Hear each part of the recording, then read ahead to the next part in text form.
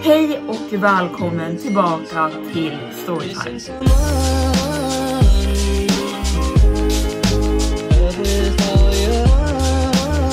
Idag är det halloween-tema på dagens story.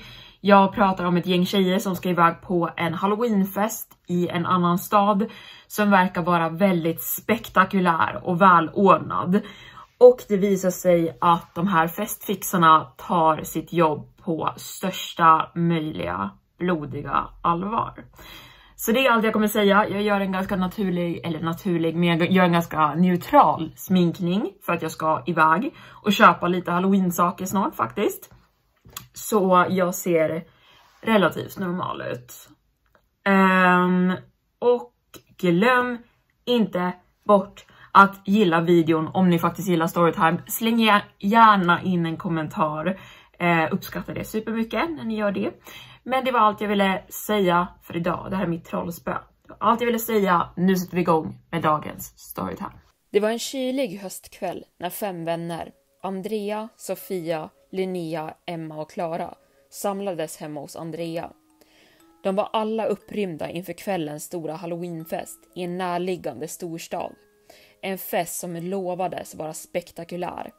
Det var Andrea som hade fått inbjudan via mail från ett okänt företag som anordnade exklusiva halloweenfester. Hon hade visat upp den för sina vänner veckor tidigare och de alla hade blivit lika imponerade. Bilderna från tidigare fester såg ut som något ur en skräckfilm. Genomarbetade dekorationer, blodiga detaljer och otroligt realistiska scener. De visste att det här skulle bli en kväll att minnas.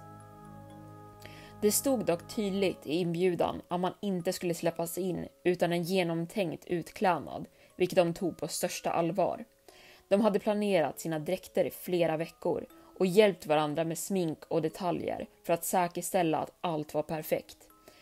Planen var att Linnea skulle köra dem dit och agera nykter chaufför under kvällen så att de andra kunde njuta av festen utan bekymmer. Och kvällen hade nu äntligen kommit och spänningen låg tät i luften när de packade in sig i Linneas bil och begav sig mot staden. Efter en timmes bilfärd, mitt ute i ingenstans, såg de den stora herrgården som tornade upp sig framför dem.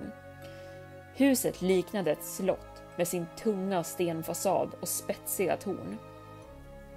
På baksidan fanns en enorm bakgård där festgäster i alla möjliga otäcka utklädnader hade samlats. De parkerade bilen en bit bort och promenerade över gruset. Alla de mötte hade verkligen tagit inbjudan på allvar. Ansikten täckta av blodiga masker, kläder som var sönderrivna och fläckade av teaterblod. Vissa människor gick inte ens att känna igen. Deras utklädnader var så detaljerade att det såg ut som varelser från en annan värld. Skepnaderna som rörde sig på bakgården var spöklika, likt skuggor som bara väntade på att slå till. Väl inne i herrgården möttes de av en imponerande syn. Hela huset var genomgående dekorerat med skelett, spindelnät, kistor och blodiga dockor. Det var som om varje rum var en egen skräckscen. Musik dånade från en högtalare i ett av rummen och folk dansade i sina groteska kostymer. De tog varsin drink från baren och började dansa. Stämningen var på topp och allt verkade perfekt. Till Sofia plötsligt lade märke till något konstigt. Medan de dansade såg Sofia en person som stod vid sidan av rummet och stirrade rakt mot dem. Personen var klädd i en svart kåpa som täckte kroppen från topp till tå och ansiktet var dolt bakom en vit skelettmask. Hon kunde inte avgöra om det var en man eller kvinna och det var något med den intensiva blicken som kom från ögonhålen som fick henne att rysa. Personen rörde sig inte alls utan bara stod där och betraktade dem. Sofia kom nu, vi ska på toa. Emma drog henne i armen och bröt hennes uppmärksamhet från figuren. De alla följde med till toaletten och Sofia försökte slå bort den obehagliga känslan. Det var ju bara en fest och folk var ju utklädda för att skrämmas, eller hur? Det var tanken. Timmarna gick och festen fortsatte i samma intensiva takt. Men så kom den stora utannonseringen. Det var dags för spökvandringen. Enligt arrangörerna skulle varje grupp vara 5 till 6 personer och bli guidade genom skogen bakom herrgården där olika skrämmande scener väntade. Tjejerna ställde sig vid utgången där en guide klädd i liknande skelettdräkt och svart kåpa som Sofia tidigare sett introducerade sig och ledde dem ut mot skogen. De kunde höra hur grupperna före dem började skrika längre in på stigen och blev ännu mer förväntansfulla när de klev in bland de mörka träden. Väl ute på stigen märkte de direkt att den var extremt dekorerad. Kroppsdelar i plast låg utspridda och blodiga kroppar låg uppställda som dekorationer. Skrik hördes igen längre in, vilket fick deras hjärtan att slå snabbare. De första scenerna var makabra men ändå förväntade. Blodiga dockor, avhuggna huvuden och blodstänk överallt. Men snart blev vandringen mer intensiv. Runt en krök hoppade en skådespelare fram med en yxa och skrek åt dem. De skrek till av chock och började springa i flykt. Adrenalinet pumpade i deras ådror. När de till slut stannade och försökte samla sig skrattade de åt hur rädda de hade blivit. Det var alltid samma sak med dem. Varje gång de besökte spökhus eller hemsökta ställen. Men när de väl såg runt på varandra insåg de att deras guide var borta. Var är guiden? frågade Linnea flämtande, hennes ansikte rosigt av att ha sprungit. Jag vet inte, vi måste ha tappat bort honom, svarade Klara och skrattade medan hon tittade sig omkring. Men det var mörkt och svårt att se längre fram på stigen. Han tyckte förmodligen vi var fåniga och kommer väl ikapp om en stund, sa Andrea medan hon höll sig för midjan av andfåddhet. De hörde nu fler skrik längre in i skogen, men de här skriken var annorlunda. Det var inte korta utrop av chock eller rädsla som när man blir skrämd. De var utdragna, desperata och lite för verkliga. Tjejerna såg på varandra och alla verkade tänka samma sak. Antingen var det en extremt verklig inspelning av skrik för att skrämma upp dem, eller så var något väldigt, väldigt fel. När de började gå längre fram på stigen dök plötsligt tre gestalter upp runt ett hörn. De var alla klädda i samma skelettmask och svarta kåpor som deras guide hade haft och de höll i vapen. På marken framför dem låg flera kroppar i högar och när tjejerna kom närmare insåg de till sin fasa att en av kropparna tillhörde en av festgästerna de småpratat med tidigare under kvällen. Herregud, det där är, det där är en riktig människa, skrek Andrea, hennes röst fylld av skräck. Skelettfigurerna upptäckte dem och började närma sig och lämnade högen av kroppar bakom sig på stigen. De rörde sig som vilddjur som fått syn på sitt byte, långsamt och kalkylerat. Paniken bröt ut i gruppen när de vände sig om för att springa tillbaka mot herrgården. Men de möttes av ännu en kåpklädd gestalt som blockerade stigen ut från skogen. I fullständig panik rusade tjejerna rakt ut i skogen istället, bort från stigen, medan de hörde fotsteg som jagade dem. Grenar rispade deras ansikten och kläder medan de försökte springa så snabbt de kunde genom det täta mörkret. När de äntligen stannade för att hämta andan insåg de att en av dem saknades. Vart är Klara? frågade Emma, hennes röst fylld av panik. Jag vet inte, hon var bakom mig nyss. Vi måste hitta henne, hon kan inte vara långt borta, sa Sofia. Men deras försvunna vän var ingenstans inom synhåll och de vågade inte ropa efter henne för högt om de där skelettklädda psykfallen skulle höra dem. De bestämde sig för att försöka hitta tillbaka till bilen. Klara kanske hade sprungit dit, Ingen av dem hade täckning på sina telefoner så här långt ut i skogen och de visste inte vart de befann sig. Efter vad som kändes som en evighet av irrande inne bland träden i mörkret hittade de tillbaka till stigen och till spökrundan. Men istället för att gå ut på den gömde de sig i buskarna vid sidan om. När de kikade fram genom buskaget såg de fler döda kroppar, arrangerade på samma sätt som dekorationerna de tidigare passerat. Något gnagde i dem. Allt hade sett så skrämmande realistiskt ut från början redan. En av tjejerna, Linnea, smög fram till en av scenerna för att inspektera närmare. Hon drog försiktigt undan en arm, bara för att inse att den var verklig. den var fortfarande varm. Ett skrik av fasa undslapp henne och hon rusade tillbaka till de andra. Det är riktiga kroppar, alltihop. Alltså det är verkliga människor. De förstod nu att spökvandringen inte var ett skämt. De hade hamnat mitt i en blodig mordscen, iscensatt av de verkliga mördarna, de skelettklädda festfixarna. Och nu var det deras tur att bli nästa dekoration. Med förnyad desperation började de fly mot herrgården, hela tiden medvetna om att mördarna var någonstans i skogen bakom dem, iakttagande.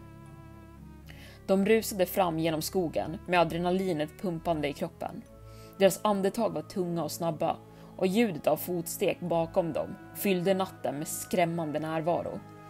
Grenar knäcktes under deras fötter och varje gång de snubblade över en rot eller ett stenigt parti kändes det som att de förlorade dyrbara sekunder i sin flykt. Sofia som sprang längst fram var den första som såg ljuset från herrgården genom de mörka trädstammarna. Där, vi är nästan ute, vi är snart framme, ropade hon. Men hoppet som tändes i hennes röst försvann snabbt när de hörde ett nytt ljud. Ett metalliskt skrapande, som om något tungt släpades efter dem. De tittade bakåt och såg två av skelettfigurerna som långsamt närmade sig med blänkande knivar i händerna längs stigen. Spring! skrek Linnea. Men precis när de var på väg att rusa vidare hörde de ett skrik bakom sig. Emma, som varit längst bak i gruppen, föll till marken handlöst och skrek i panik. Hon hade fastnat med sin fot i en snårig rot och kunde inte komma loss. Hon kämpade för att dra sig fri medan de andra stannade upp, kluvna mellan rädsla och viljan att rädda sin vän.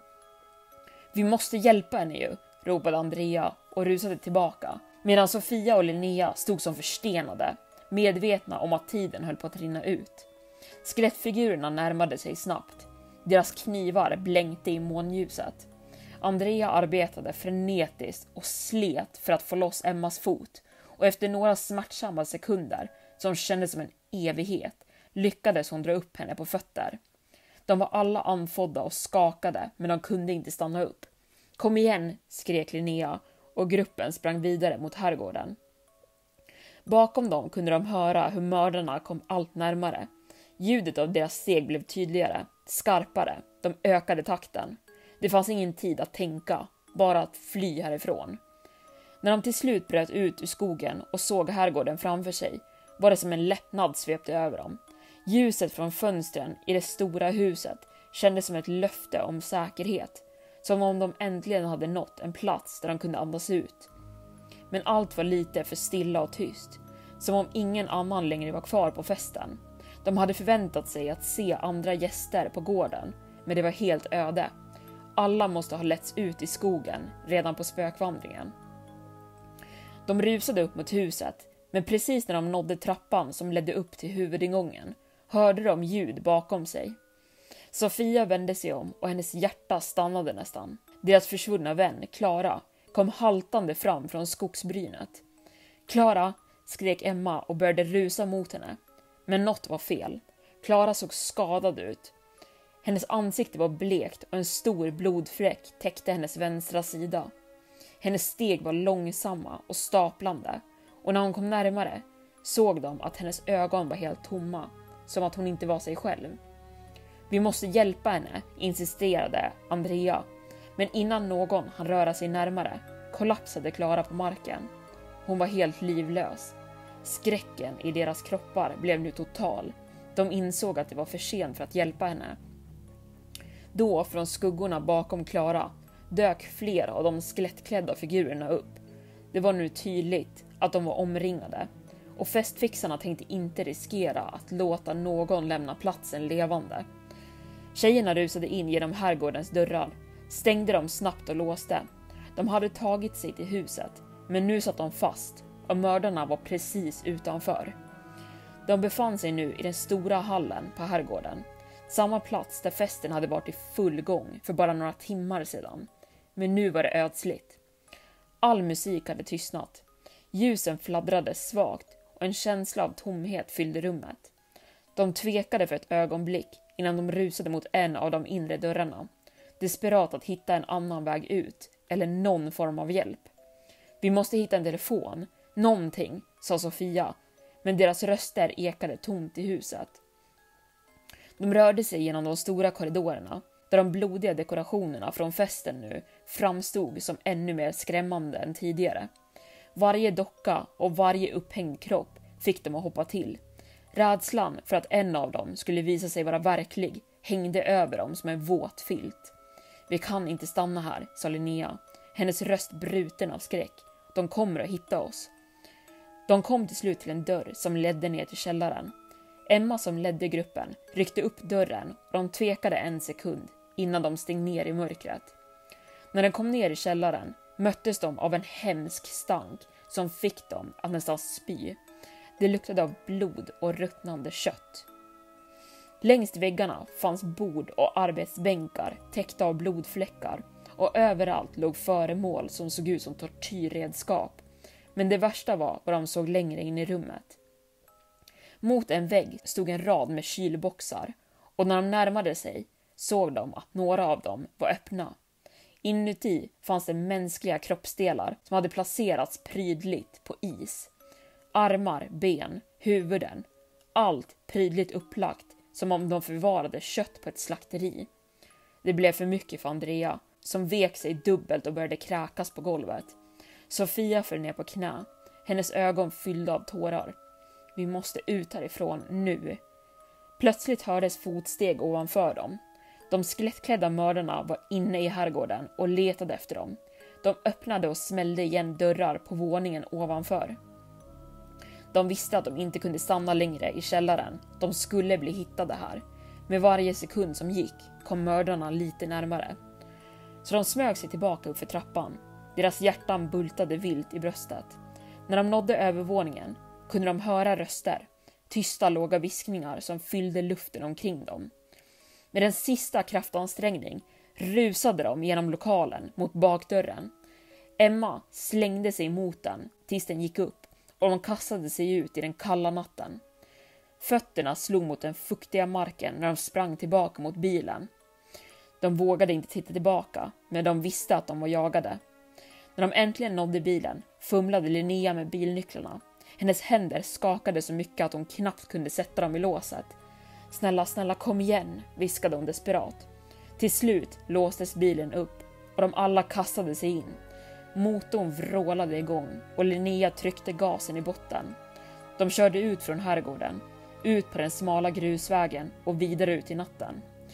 Bakom dem kunde de fortfarande se ljuset från huset, men det bleknade sakta bort, likt ett hemskt minne. Ingen sa ett ord under hela färden tillbaka. Skräcken som hade fyllt kvällen hängde fortfarande tung över dem och de visste att de aldrig skulle glömma bort det. De polisanmälde vad som hade hänt med Klara, men polisen kunde aldrig hitta någonting på platsen. För när de väl tog sig till herrgården var allting helt bortstädat och festfixarna var sedan länge borta. Ett år senare fick Andrea ett nytt mejl med en ny adress och en ny inbjudan till årets halloweenfest.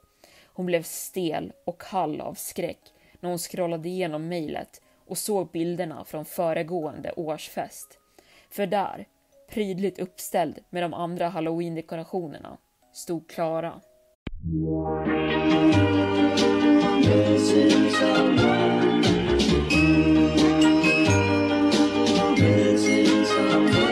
Missing someone